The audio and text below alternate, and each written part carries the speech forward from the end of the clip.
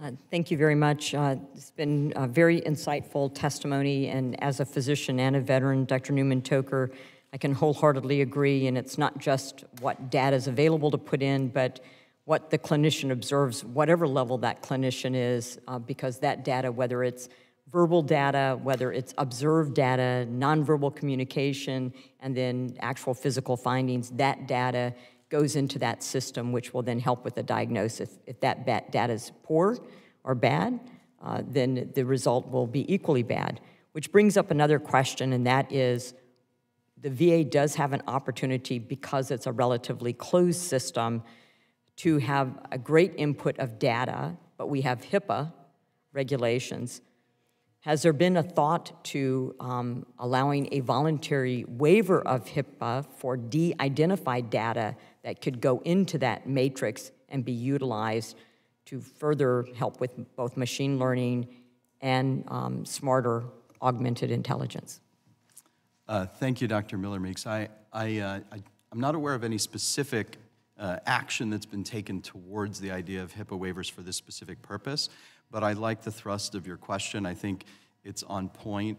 Uh, There are times where uh, the uh, inability to follow a patient over time or to acquire information um, prospectively in a given encounter in order to capture the sort of full diagnostic journey, for example, uh, may be challenging because of the HIPAA constraint. Um, and I do believe that your suggestion to give patients the opportunity to assist us in providing better care through AI is, is a good one.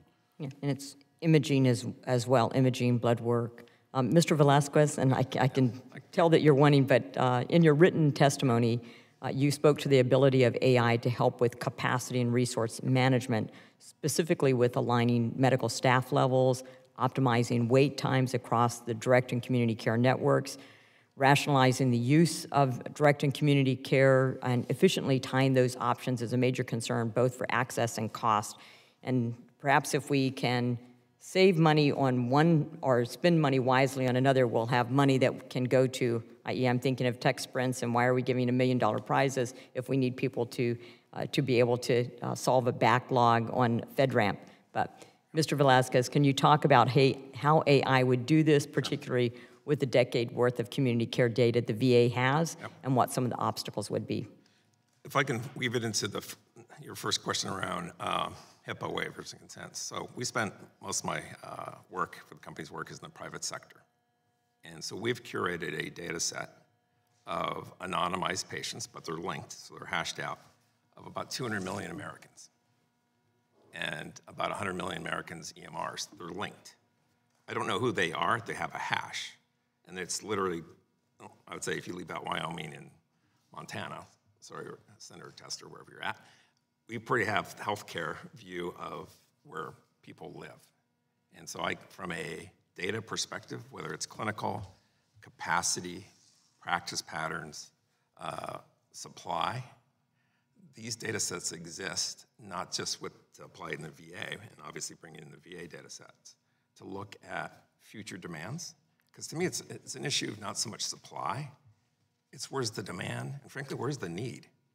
And trying to predict those two using uh, rules based methodologies or regression models, it's trying, trying to predict the weather, but the clouds have uh, are basically their behaviors, their agents, they change their opinions and they interact and talk among each other. They emote reaction.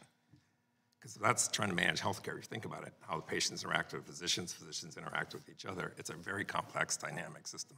And if we're going to really get our arms around understanding supply and demand healthcare, that's a perfect use for machine learning. So now I'm going to ask the million dollar question, and, and that is, uh, and it's something that uh, former Speaker McCarthy brought to our attention on a visit to MIT. So we are members of Congress. Uh, I have a science background as a physician, but certainly when it comes to technology and especially uh, augmented artificial intelligence, um, our knowledge base and foundation may be lacking. But yet we are making decisions on how both fund, implement, regulate uh, both the promise and also the pitfalls of AI. So, my question, if you all can just briefly answer it, um, how would you recommend members of Congress be able to educate themselves so that we're the Ranking Member Brownley is saying it's impossible, but very, very quickly, what would you advise Congress to do so that we can adapt, you know, adapt technologies rapidly, perform the proper oversight, the proper protection of uh, data, um, and to legislate in a way that's most appropriate that allows us to really effectuate the promise of AI in healthcare, which can be transformational? I want to take a shot. So, uh, my company, I think, and I'll keep it short, I focus on the use case. Because back to your point, ranking, the technology changes, it just changed. It literally moves that quick. There's some kids in Cal or MIT doing something that just blows us away. We're not going to keep up with those. And so to me, we need to focus on the use case and start there, or the challenge we're trying to address, then back up. And so having these hearings, have the discussions, and just asking the questions, what's that challenge we're trying to solve, and then start back up from there, I think is probably more appropriate use of uh, Congress's time rather than trying to keep up with the kids in the garage coming up with new models. So Dr. Newman Toker, and then I'll go Dr. Rock, Rockefeller and I think just very- Mr. Rockefeller. Very briefly, I, I think you're, you're doing this by bringing in expertise. I think the most important piece is the diversity of that expertise uh, in order to make sure that you have all the relevant perspectives on the implementation of the technology. Mr. Rockefeller? Um, I would say that the first step, because it's, a- it's, it's, it's an accurate question yet with a vague sort of response, I would say the first step is to become familiar with the products and services that are being offered um, by the private sector with the VA, right? This is what the tech sprints enable to sort of bring it forward to you. Um, and, and they're all sort of during that process, we became very familiar with the inner workings of the VA, um, uh, learning about the systems, how to do the integrations. All of that is good groundwork of knowledge to, to, to share with you. So I would almost say the best way to break the cycle is simply look at the products and request it through whoever. Uh, Thank you. And Mr. Nadarajan?